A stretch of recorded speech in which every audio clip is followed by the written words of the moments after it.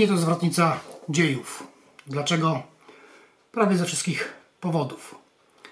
Z jednej strony mamy do czynienia z państwem, które jest potężne, wielkie, zarówno biedne, ale i bogate.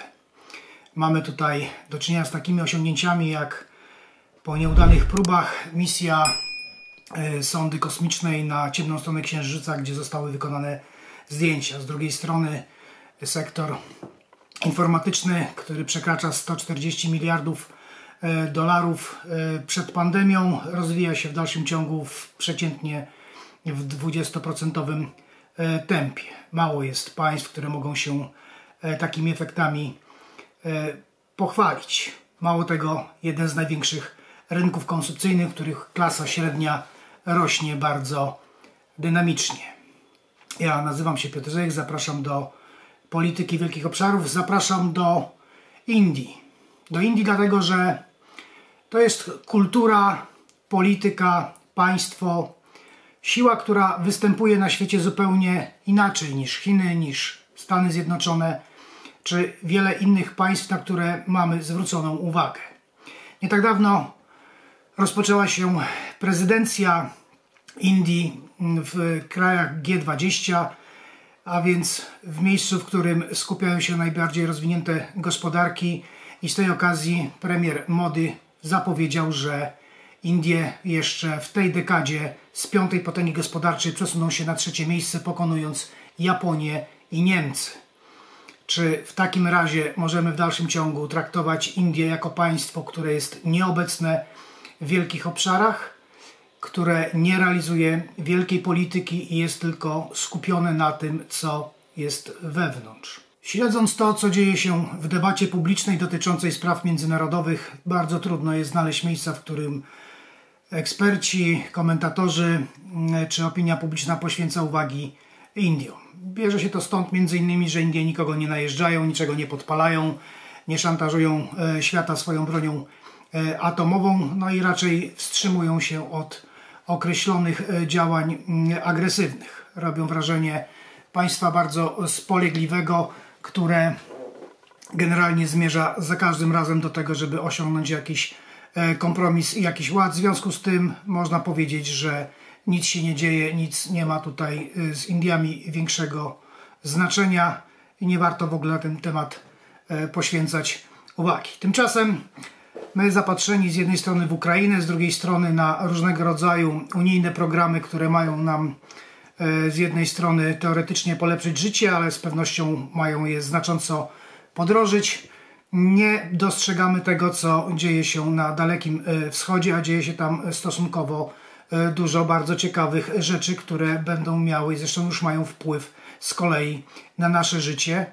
A jeśli chodzi o Indię, to mamy do czynienia z taką kulturą, z taką cywilizacją i z takim rodzajem e, uprawiania polityki, który zadaje e, bardzo duży kłam, wielkie znaki zapytania o to, czy nasz tak zwany zachodni, atlantycki sposób widzenia świata, e, nasza perspektywa jest rzeczywiście prawidłowa. No bo z drugiej strony można zadać sobie pytanie w ogóle, gdzie tutaj jest jakikolwiek temat, no bo nasza perspektywa jest dokładnie taka, że wszystko układamy pod jeden określony e, schemat, a to, co nam do tego schematu nie pasuje, będziemy po prostu e, odrzucać. Zacznijmy w ogóle od samej e, historii, ponieważ Indię postrzegamy generalnie jako państwo trzeciego świata, kraj biedny, który ma problemy nawet z głodem, z wykształceniem. Prawdą jest to, że ponad 40%, a może nawet i więcej obywateli hinduskich to są analfabeci.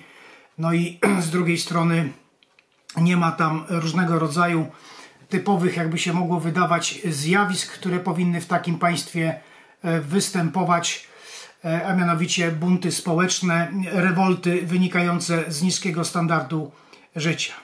Ale być może chodzi właśnie o to, że teorie postępu do e, opisywania Indii, rozumienia jej historii, jej kultury właśnie nie pasują, z tego względu, że jest to państwo, które jest generalnie rzecz biorąc cywilizacją organiczną, czyli taką, która rośnie w miarę rozwoju różnego rodzaju technik zarządczych, ale w sposób naturalny, nie narzucając przez politykę państwową e, rozwiązań, tak jak jest to typowe dla Europy czy Stanów Zjednoczonych i oczywiście Chin.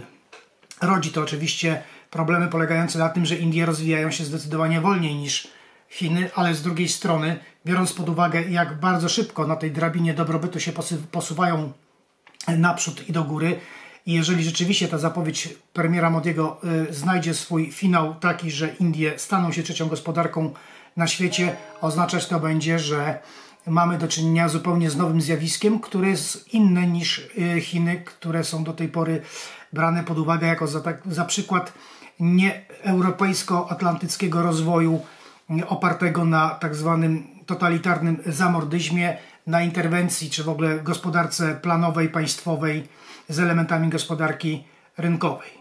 Indie są generalnie rzecz biorąc z natury rzeczy gospodarką e, rynkową. Nie udało się tam zaimplementować w latach 60., 70. rozwiązań socjalistycznych, one wszystkie generalnie rzecz biorąc zbankrutowały. Ale nie jest też tak, że Indie do końca są odporne na prądy zewnętrzne, dlatego że okres, kiedy Indie były pod okupacją, była częścią kolonii brytyjskich, system praw brytyjskich w, w, Indiach zaistniał. Mało tego, język angielski stał się językiem, który połączył e, w sensie komunikacyjnym całą wykształconą warstwę e, i biznesową Hindusów. Hindusi to jest wiele set nacji o swoich tożsamościach zasiedziałych wiele tysięcy lat w miejscu, które są. Indie, zanim dostały się w ręce brytyjskie, były krajem, jak to się e, pięknie kiedyś określało baśniowo, mlekiem i miodem płynący. Były po prostu z jednej strony bogate, z drugiej strony podzielone do tego stopnia, że poszczególne królestwa wewnętrzne toczyły ze sobą zapamiętałe wojny do tego stopnia, że myślano sobie, że użyje się Europejczyków, najpierw Francuzów, Holendrów, wcześniej Hiszpanów, Portugalczyków, no i na końcu Brytyjczyków do tego, żeby ich obecność ich zasoby, technologie wykorzystać do tego, żeby zdominować e, swoich pozostałych rywali. Skończyło się tak, o czym opowiemy innym razem, że Brytyjczycy po prostu będąc zdecydowaną mniejszością pod każdym e, względem e, zdominowali całe życie polityczne, a potem ekonomiczne Hindusów i po raz pierwszy w historii 4000, no powiedzmy 5000 lat E, doprowadzili Indię do jedności, jakiej one nigdy wcześniej nie znały. I to jest niezbywalna wartość, jeśli chodzi o mm, e, Hindusów, e, biorąc pod uwagę dorobek korony brytyjskiej.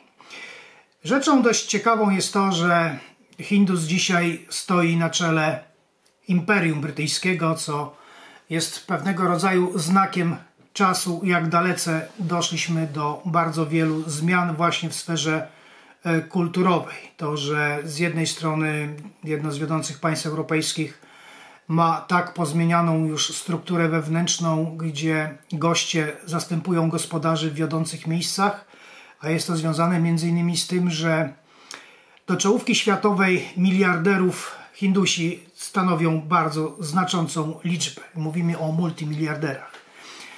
Ludziach, firmach, które posiadają po prostu w, nie tylko w Indiach, ale w różnych miejscach na świecie bardzo znaczące wpływy wytwarzające niezliczone bogactwo, które wraca do Indii różnymi metodami, ale jest również reinwestowane na przykład na rynkach e, europejskich. Branża, branża metalurgiczna w dużej mierze jest też w rękach hinduskich, nie tylko azjatyckich, w sensie Chin czy Korei Południowej, ale właśnie jest jednym z centrów produkcji wytwarzania E, stali. Podobnie jeśli chodzi o kopaliny, e, to nie tylko chodzi o same Indie, ale też w różnych innych krajach firmy hinduskie właśnie w takich biznesach e, infrastrukturalnych uczestniczą. Ale najistotniejszą sprawą związaną z Indiami jest kompletna odmienność rozwoju ścieżki historycznej, kulturowo-cywilizacyjnej od tej, którą znamy, według tego, jak nas się uczy od czasów oświeceniowych w Europie.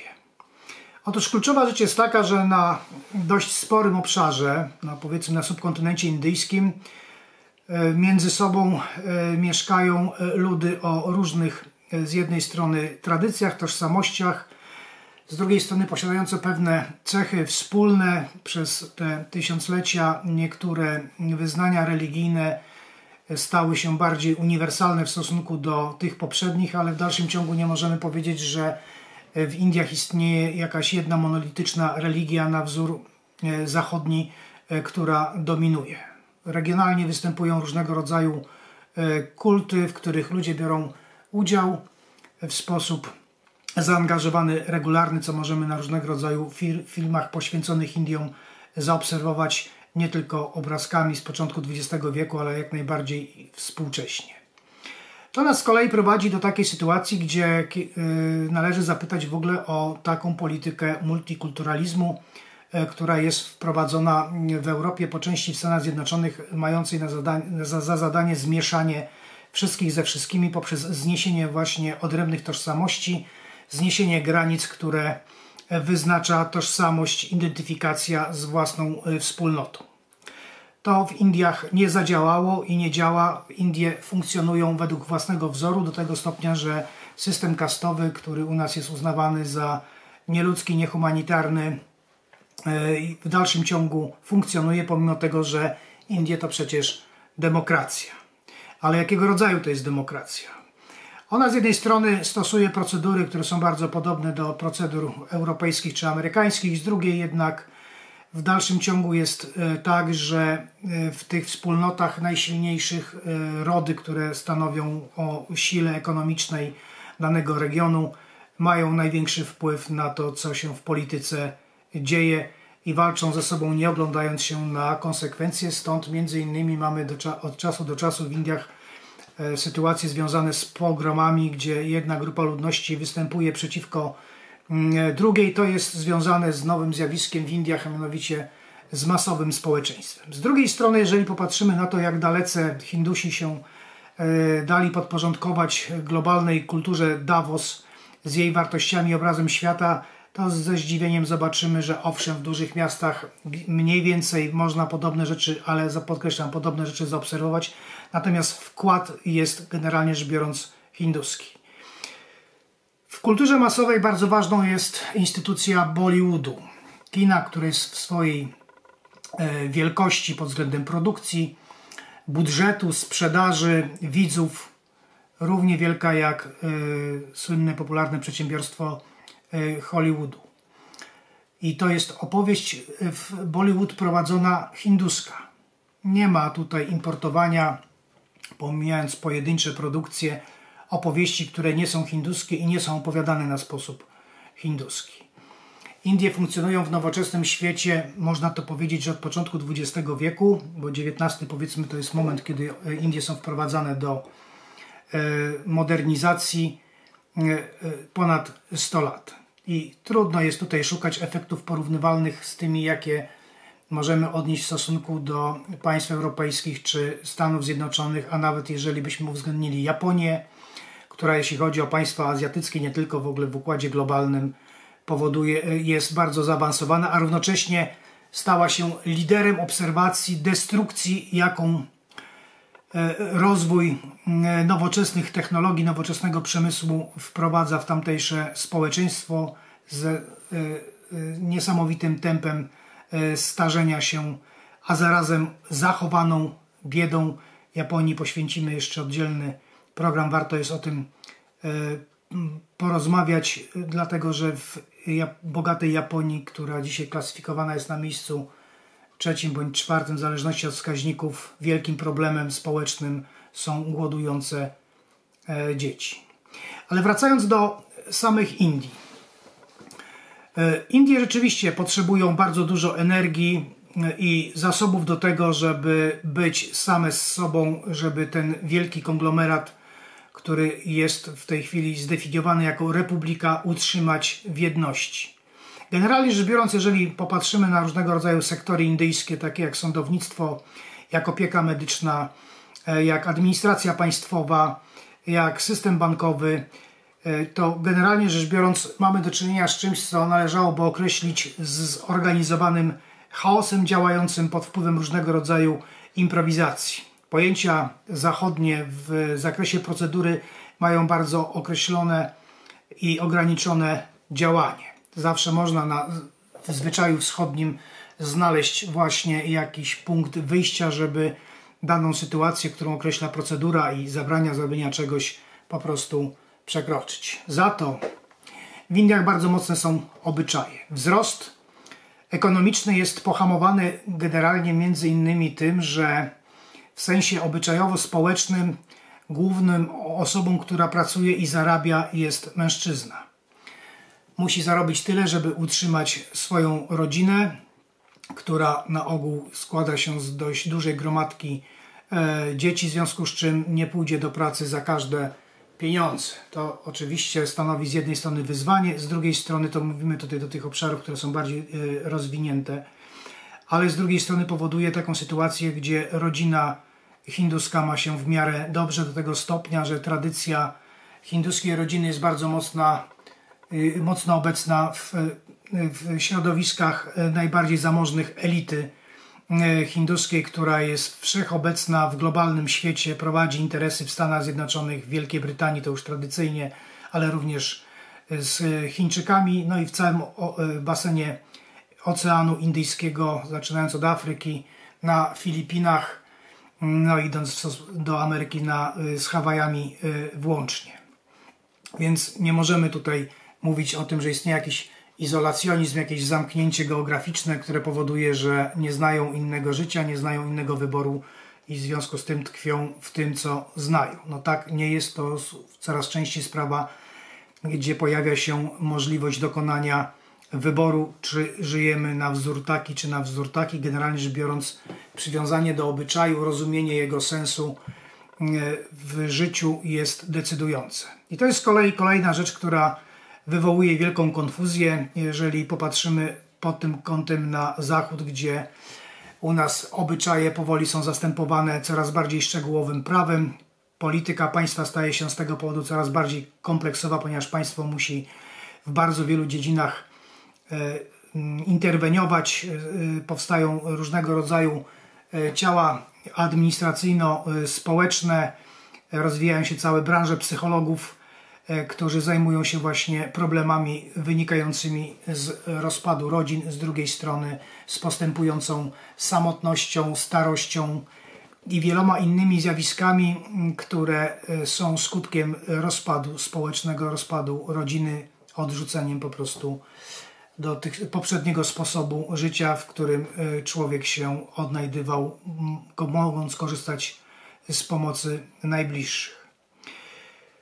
W Indiach najdłuższą tradycją, jeżeli odnosimy się do spraw społeczno-ekonomicznych, ale zarazem w nie mniej istotnym stopniu e, kulturowo-cywilizacyjnych, to mamy pewien model rozwoju gospodarczego, e, który zaistniał tam od tak zwanych niepamiętnych czasów, a mianowicie to, że podstawową działalnością jest e, grupa rolnicza, czyli wioska, więc ona jest automatycznie taką wspólnotą, która ma swoją tożsamość, swoje znaki, swoje totemy, swoje e, rodowody, ma swoje miejsce geograficzne i ta wspólnota nie ma podziału na własności. Działki są dzierżawione przez poszczególne rodziny, oprócz tego są jeszcze areały wspólne, na których prowadzi się działalność gospodarczą, która przede wszystkim zmierza do tego, żeby w miarę najbardziej autarkiczny sposób zabezpieczyć wszelkiego rodzaju możliwe potrzebne rzeczy do życia.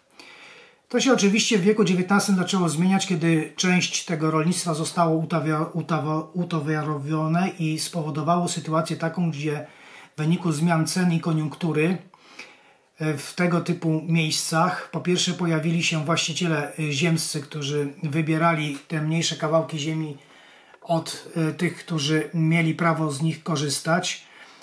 Tworzyli większe gospodarstwa rolne, no i zaczął się dramat wtedy, kiedy ceny na produkty, które wytwarzali, po prostu spadały, bądź w ogóle handel zamierał. Wówczas okazywało się, że nie ma jak się z tego tytułu dalej utrzymać. To był jeden z powodów, dla których Indie, które nie ustępowały pod względem bogactwa do końca XVIII wieku od państw europejskich, zaczęły systematycznie popadać w biedę. To jest tylko jeden z elementów, bo tam są jeszcze kwestie związane z rozwojem gospodarki kolonialnej, bo to jest y, ten towarowe gospodarstwo jeden z takich e, przejawów ale o tym, bo to jest oddzielny wielki e, temat, żeby zobaczyć, jak wygląda eksploatacja i zmiana całego e, hinduskiego paradygmatu. Po odzyskaniu niepodległości w latach 50., 60. przez Indię, to mamy do czynienia z takim fenomenem, który się nazywa Mahatma Gandhi. Otóż sposób przeprowadzenia całego zadania związanego z zyskaniem niepodległości, gdzie na początku próbowano używać siły walki zbrojnej, została ona ograniczona do manifestacji buntu społecznego, zresztą bardzo dobrze zorganizowanego i prowadzonego właśnie metodami e, politycznymi na zasadzie biernego e, sprzeciwu. To doprowadziło do sytuacji takiej, której bardzo szybko Brytyjczycy po zorganizowaniu kilku masakr dowiedzieli się, że nie są w stanie nad Hindusami żadną miarą zapanować i że nawet terror na masową skalę nie jest w stanie tego po prostu zmienić. Indie ponownie poczuły, że mają siłę i że mają prawo do swojego sposobu rozwijania mm, swoich możliwości i robienia polityki po swojemu, że nie muszą kon konkretnie odpowiadać na to, co przynosi świat. I tu dochodzimy do sytuacji jak najbardziej współczesnej. Z jednej strony bowiem Indie popierają Rosję i Ukrainy w ogóle w starciu z Rosją nie widzą. Rosję postrzegają jako ten kraj, który walczy z tak zwaną opresją białych ludzi przeciwko ludziom w Azji. Z drugiej strony są też w coraz lepszych stosunkach ze Stanami Zjednoczonymi, y, o czym świadczy wiele różnego rodzaju wspólnych inicjatyw, m.in. udział w wkładzie y, i współpraca wojskowa ze Stanami Zjednoczonymi, która do niedawna była jeszcze na bardzo słabym y, poziomie. Indie zatem będą państwem, które są zainteresowane, aby Rosja utrzymała swój status Natomiast równocześnie ze względu na wzrastającą potęgę Chin będą współpracowały ze Stanami Zjednoczonymi, ale na warunkach swoich. Nie oznacza to, że propozycje amerykańskie są przyjmowane, wdrażane i realizowane zgodnie z wolą e, z panów z Kapitolu czy z Białego Domu. Tutaj sprawa ma zupełnie inny obrót. Po pierwsze, Hindusi mają inny kalendarz. Nie spieszą się. Zawsze mają czas, ponieważ wiedzą, że ich się zdeptać po prostu nie da. Nie mogą tego zrobić ani Amerykanie, ani e, Chińczycy. Co nie oznacza, że nie wiedzą, nie rozumieją tego, że w miarę upływu czasu konkurenci rosną w siłę, a więc i Indie też muszą to robić. Jeżeli popatrzymy na rozwój branży IT, to są nowe technologie, najnowsze technologie. Indie stanowią sporą część pod tym względem globalnego biznesu, mają swój e, wkład w różnego rodzaju rozwiązania, no ale przede wszystkim zarabiają na rynku wewnętrznym, gdyż on po prostu, mając miliard, prawie 500 milionów ludzi, jest po prostu trzykrotnie większy niż byśmy policzyli samą Europę. W związku z tym jest miejsce, gdzie można zarabiać pieniądze jest miejsce, gdzie można tworzyć nową architekturę biznesowo-technologiczną. Nie ma konieczności, żeby y, dla rozwoju i zysku wędrować po świecie, co nie oznacza, że tego się nie robi. Indie są bardzo mocno pod tym względem obecne, na przykład w krajach e, afrykańskich, gdzie dostarczają technologie, dostarczają e, smartfony, e, cały ten system, który pomaga na bardzo mocno niedorozwiniętym rynku ekonomicznym w Afryce rozwijać tamtejsze lokalne rynki. Podobnie jest, jeśli chodzi o budowę różnego rodzaju przedsięwzięć e, przemysłowych. Również Hindusi poza granicami e, swojego subkontynentu inwestują w tego typu przedsięwzięcia, robiąc na tym znakomite e, interesy. Indie to w końcu w dalszym ciągu jakaś część Wall Street, choć zupełnie autonomiczna, już nie podlegająca tej presji, którą wcześniej wywierała metropolia londyńska. Oznacza to, że Indie nie muszą wchodzić do świata biznesu, do świata e, wielkich pieniędzy, ponieważ są jeszcze od czasów kolonialnych tam na miejscu. Teraz należy zwrócić uwagę na to, jakie Indie, jak Indie w historii odgrywały rolę dla zmiany układu y, sił. Indie mają w sobie zaszytą bardzo wielką dynamikę, ponieważ mają tak zwane rezerwy proste związane z bardzo niskim stopniem rozwoju sporej części swojego kraju, gdzie na dobrą sprawę każda dziedzina, na jaką byśmy nie spojrzeli, wymaga po prostu setek miliardów dolarów nakładów na to, żeby dorównać do takiego poziomu, jaki sobą dzisiaj reprezentuje e, Europa. Oznacza to, że miejsca i pola do inwestycji jest bardzo dużo, tym bardziej, że inwestycje te, jeżeli kończą się sukcesem, co w Indiach nie jest za każdym razem sprawą przesądzoną, ale to nie jest tylko kwestia samych Indii, powodują, że określone regiony zaczynają gospodarczo lepiej wzrastać, bo istota rzeczy polega na tym, żeby wybrzeża hinduskie komunikowały się z wnętrzem subkontynentu, który jest e, w sumie najbiedniejszy, ale z drugiej strony e, są tam konsumenci i pracownicy zdolni wytwarzać e, nieograniczoną liczbę dóbr w stosunku do tego, co jest dzisiaj.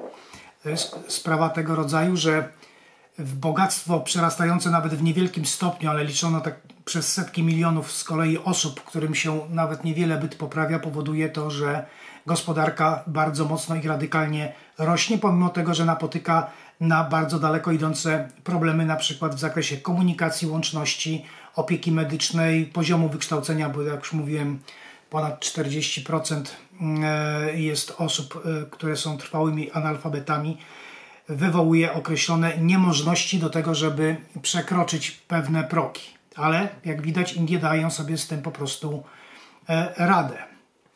Sposób, w jaki wzrosła im siła nabywcza przez ostatnie trzy dekady, jest najlepszym tego dowodem. I pomimo tego, że nie są na takim etapie i na takim poziomie i tempie rozwoju jak Chińczycy, to równocześnie nie mają części ich problemów, takich jak zadłużenie, jak siwa fala, E, i e, to z kolei powoduje, że przed Indiami rysuje się raczej jaśniejszy horyzont niż e, ciemniejszy.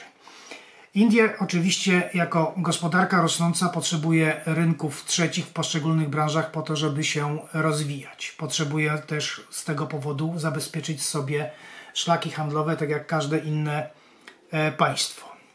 Zatem Indie wytwarzają, podobnie jak Chiny, potężne potężne miejsce, w którym następuje ssanie gospodarcze, a zarazem erupcja e, przede wszystkim dóbr i, usług, e, które przyciągają biznes i przyciągają zarazem politykę.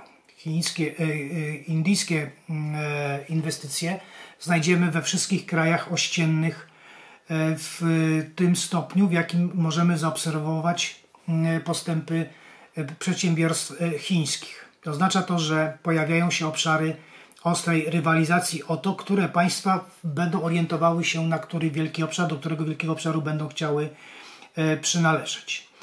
Z, drugiej, z trzeciej z kolei e, strony Indie potrzebują w dalszym ciągu dostęp do e, technologii, zarówno pod względem wszystkich tych najbardziej zaawansowanych, takich jak energetyka jądrowa, jak przemysł kosmiczny, E, e, informatyka, no i oczywiście uzbrojenie, gdzie armia e, hinduska jest wyposażona w różnego rodzaju technologie i sprzęt jeszcze z lat 50. i 60.